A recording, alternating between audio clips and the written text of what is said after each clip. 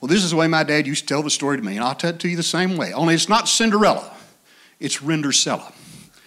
Now, a long time ago, in a corn country, there lived a beautiful girl, and her name was Rindercella.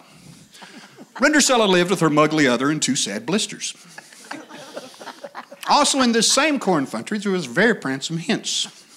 And this pransome Hince was going to give a bancy fall. So he invited the people for riles amount, especially the pitch reaple. He was stancing, he wasn't hooping.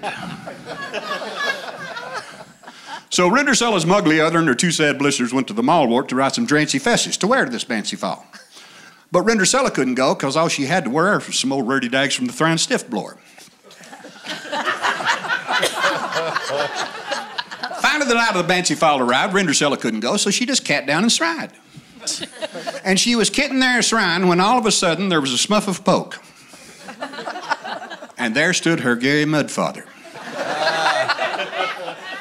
and he touched her with his magic mand.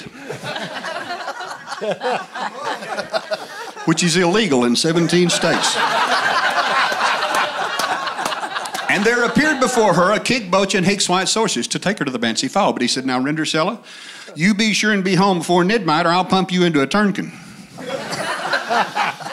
Well, when Rindercella arrived at the Bancy Fall, the Pransome Hince met her at the door because he had been watching from behind a wooden hen and he thought she was the grittiest pearl in the place. so Rindercella and the Pransome Hince danced all night. And they lay in fove. then all of a sudden, the mid clock struck night. Rindercella staced down the rares, and just as she beats the rodham, she slopped her dripper. you know what that's like, don't you, Bill? so the next day, this pransome Hince went all over this corn country looking for the beautiful girl who had slopped her dripper. Finally, he came to Rindercella's house. Well, he tried it on her mugly other, and it fit and did. then he tried it on her two sigly esters, and it fit and did. Then he tried it on Rindercella, and it fit did. It was exactly the sight rise. So they were married and lived heavily after Hapwards. But the story of the Maury is this. If you ever go to a Banshee Fall and you want to have a Pransome Hinsel all in fub with you, don't forget to slop your dripper.